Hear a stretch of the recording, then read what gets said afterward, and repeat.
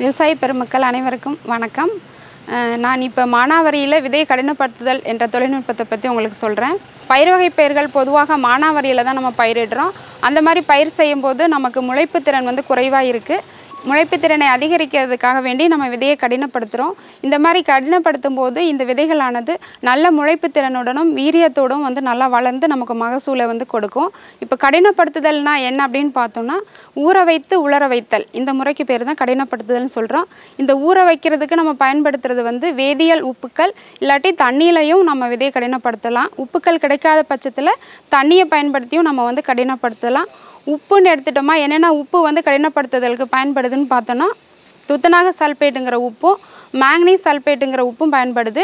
இதில் துத்தநாக சல்பேட்டு வந்து துவரைக்கும் உளுந்துக்கும் வந்து நம்ம பயன்படுத்துகிறோம் பாசிப்பயிருக்கு பார்த்திங்கன்னா மேங்னீஸ் சல்பேட்டுங்கிற உப்பு பயன்படுத்துகிறோம் இந்த கடினப்படுத்தல் முறையில் வந்து நம்ம முக்கியமாக கவனிக்க வேண்டிய அம்சங்கள் என்னன்னு பார்த்தோன்னா இந்த ஊற வைக்கிற கால அளவு உப்போட அளவு அதுக்கப்புறம் உ- தண்ணி மற்றும் விதையோட விகிதம். இது மூணும் வந்து நம்ம ரொம்ப முக்கியமாக கவனிக்கணும். இப்போ உப்பு அளவுன்னு எடுத்துட்டோமா இரநூறு பிபிஎம்ங்கிற அளவில் நம்ம பயன்படுத்துகிறோம் அதாவது அது வந்து ஒரு சிட்டிகை அளவு ஒரு ஏக்கருக்கு பயன்படுத்தக்கூடியது ஒரு சிட்டிகை அளவு உப்பு வந்து போதுமானது. தண்ணி அளவுன்னு பார்த்துக்கிட்டோமா ஒரு கிலோவுக்கு முந்நூறு எம்எல் அதாவது மூன்றில் ஒரு பங்கு அப்படிங்கிறது தான் தண்ணி வந்து நம்ம பயன்படுத்துகிறோம் அதுக்கப்புறம் ஊற வைக்கிற கால அளவுன்னு பார்க்கும்போது மூணு மணி நேரம் தான் ஊற வைக்கணும். இதையே இதெல்லாம் வந்து நம்ம ஏன் கடைபிடிக்கணும் அப்படின்னு பார்த்தீங்கன்னா இந்த பயிர் வகை பயிரானது தண்ணியை உறிஞ்சக்கூடிய தன்மை வந்து ரொம்ப அதிகமாக இருக்குது இந்த பயிர் வகை பயிர்களுக்கு. அதனால நம்ம தண்ணியோட அளவை வந்து அதிகமாக கொடுக்கும்போது டக்குன்னு வந்து தண்ணியை உறிஞ்சிக்கும். அந்த மாதிரி தண்ணியை உறிஞ்சும் போது இதை விதையோட மேல் உரையானது சீக்கிரமாக நமக்கு வெளியே வந்துடும் அதாவது தோல் வந்து உறிஞ்சிரும். அதனால் தண்ணியோட அளவு வந்து நம்ம கம்மியாக கொடுக்குறோம். அதனால தான் மூன்றில் ஒரு பங்கு மட்டும் தண்ணியை கொடுக்குறோம். அடுத்தது பார்த்திங்கன்னா கால அளவும் வந்து கரெக்டாக மூணு மணி நேரம் தான் நம்ம கொடுக்கணும். அது அதற்கு அதிகமாக கொடுத்தோன்னா என்ன ஆகும்னா இந்த முளை குருத்தானது வளர ஆரம்பிக்கும். அதுக்கப்புறம் வந்து நம்ம இந்த விதையை பயன்படுத்த முடியாது. அதனால் நம்ம ரொம்ப முக்கியமாக கவனத்தில் கொள்ள வேண்டியது வந்து இந்த கால அளவு மற்றும் தண்ணீரோட அளவு இதை வந்து ப கவனத்தில் கொண்டு வச்சுக்கணும் நம்ம. அடுத்தது வந்து நம்ம இந்த வந்து இந்த கடினப்படுத்துதல் மூலம் எப்படி நமக்கு முளைப்பு திறன் வந்து அதிகமாக இருக்குது நமக்கு வயலில் போடும்போது எப்படி வந்து எல்லாம் முளைக்குது அப்படின்னு சொல்லி பார்த்தோம்னா இப்போ விவசாயிகளுக்கே தெரியும் நமக்கு முளைக்குது அதாவது ஒரு விதை வந்து முளைக்கணும் அப்படின்னு சொன்னால் நமக்கு வந்து தண்ணியை எடுத்துக்கணும். அந்த விதைக்கு வந்து கண்டிப்பாக தண்ணி வேணும். இப்போ நம்ம மானாவரியில் விதைச்சோன்னு வச்சுக்கோங்களேன் இப்போ வந்து விதைக்கும் போது ஒரு மழை வந்து நமக்கு கண்டிப்பாக வேணும். அந்த விதை ஊறுறதுக்கே நமக்கு வந்து ஒரு மழை வேணும். இப்போ வந்து நம்ம அதுக்கப்புறம் திருப்பி ஒரு மழையில தான் அது ஃபுல்லாகவே முளைச்சி வெளியே வரும். ஆனால் நம்ம இந்த கடினப்படுத்தல் முறை வந்து பயன்படுத்தும் போது என்ன ஆகுதுன்னா நம்மளோட நம்மளே வந்து அந்த உறிஞ்சுறதுக்கு தேவையான தண்ணியை வந்து நம்ம கொடுத்துக்கிறோம். அதனால இந்த மூணு மணி நேரத்தில் அது என்ன பண்ணுன்னா தண்ணியை உறிஞ்சிக்கிட்டு அந்த முளைக்கிறதுக்கு தேவையான வினையியல் அதாவது வேதியியல் வினைகளில் வந்து பாதி வந்து அது வந்து முடிச்சிடும் அந்த மீதி பாதியை வந்துட்டு திருப்பி நம்ம வயலில் போடும்போது திருப்பி ஒரு மழை வரும்போது அது என்ன பண்ணுன்னா மீதி இருக்கிற வினையை வந்து அப்படியே வந்து தொடரும். அப்போ அந்த பாதிக்கு தேவையான தண்ணியை வந்து நம்ம இங்கேயே கொடுத்துட்றதுனால அதோட தண்ணியோட தேவைப்பாடுங்கிறது வந்து நமக்கு குறைஞ்சிருது. அதுக்கப்புறம் இப்போ நம்ம என்ன பண்ணுறோன்னா திருப்பி விதைக்கும் போது பார்த்திங்கன்னா ஒரு மழையை எடுத்துக்கிட்டு ஒரே சீராக நல்லா வந்து முளைச்சி வந்துடுது அந்த வினையை வந்து தொடுறதுனால வந்து நல்லா முளைச்சி வந்து நமக்கு வந்துடுது பயிரோட எண்ணிக்கை வந்து பார்த்திங்கன்னா அதிகமாகவும் இருக்கும்.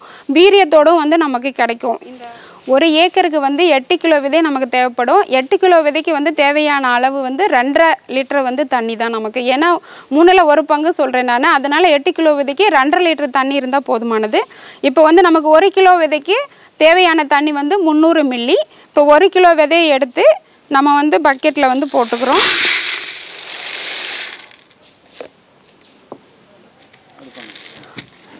அதுக்கப்புறம் நான் அந்த துத்தநாக சல்ஃபேட்டை உப்பை வந்து அது வந்து ச தண்ணியில் வந்து சாதாரணமாக கரையக்கூடியது. அதனால் வந்து அதை போட்டு நம்ம வந்து தண்ணியில் கலக்கிக்கிறோம். இதை வந்து நம்ம தண்ணி நம்ம விதையில் வந்து ஊற்றிடுறோம் விதையில் ஊற்றிட்டு நம்ம ஏதாவது ஒரு குச்சியவே பயன்படுத்தி இதை வந்து நல்லா நனையிற மாதிரி வந்து கலக்கி விட்டுக்கணும்.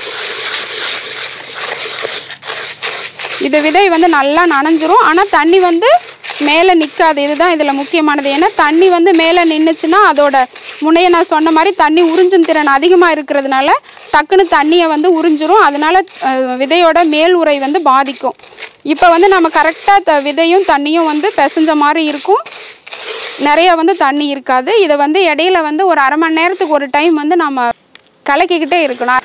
இப்போ இந்த மாதிரி விதை வந்து நல்லா கலக்கினதுக்கப்புறம் இதை மூணு மணி நேரம் நம்ம வச்சிடணும். இடையில இடையில கலக்கிக்கிட்டே இருக்கணும். அப்போ தான் கீழே இருக்கிற விதை எல்லாத்துக்கும் வந்து கரெக்டாக நமக்கு ஈரம் வந்து கிடைக்கும். இந்த விதையை வந்து மூணு மணி நேரத்துக்கு அப்புறம் நம்ம எடுத்து வந்து ஃபஸ்ட்டு நிழலில் தான் உலர வைக்கணும். ஏன்னா எடுத்தோடனே நம்ம வந்து சூரிய ஒளியில் வந்து போடக்கூடாது. என்ன காரணம் அப்படின்னா இப்போ வந்து ஊறி இருக்கிறதுனால இந்த விதையோட விதைகள் எல்லாம் உயிரல் பொருட்கள் நமக்கு அது தெரியும். இதோட வந்து முளை குருத்து என்னென்னா நமக்கு வர ஆரம்பிச்சிரும். அப்போ வந்து நம்ம நேராக கொண்டுட்டு போய் இதை ச சூரிய ஒளியில் போடும்போது அந்த ஈரமான இருக்கிற முளை குருத்து வந்து ரொம்ப பாதிச்சிரும். அதனால முளைப்பு திறன் வந்து பாதிக்க வாய்ப்பு இருக்குது அதனால நம்ம எடுத்த உடனே ஃபஸ்ட்டு நிழலில் தான் உலர வைக்கணும். நிழலில் வந்து இதை நல்லா ஃபஸ்ட்டு உலர வச்சுக்கணும். ஒரு நாள் ஃபுல்லாகவே நமக்கு வந்து இந்த விதைகள் வந்து நிழலில் தான் இருக்கணும். நிழலில் வந்து உலர்ந்ததுக்கு அப்புறம் அடுத்த நாள் வந்து நம்ம இதை வந்து வெயிலில் வந்து உலர வச்சுக்கலாம். இப்போ வந்து இந்த கடினப்படுத்தல் முறைங்கிறது மிக எளிய முறை.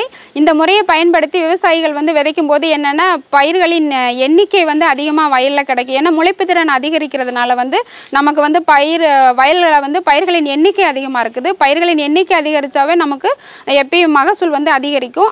அதனால் இந்த விவசாய பெருமக்கள் வந்து இதுக்கு எந்த காசும் நம்ம அதிகமாக செலவு பண்ண வேண்டிய அவசியமே இல்லை. ஏன்னா தண்ணியிலே பண்ணினாவே நமக்கு வந்து கண்டிப்பாக போதும். அதனால் நீங்கள் தண்ணியவே பயன்படுத்தி இந்த மாதிரி இதை கடினப்படுத்தல் முறையை வந்து பயிர் வகை பயிர்களுக்கு நீங்கள் கடைபிடிச்சிட்டு நல்ல மகசூல் பெறுமாறு அன்புடன் கேட்டுக்கொள்கிறேன்.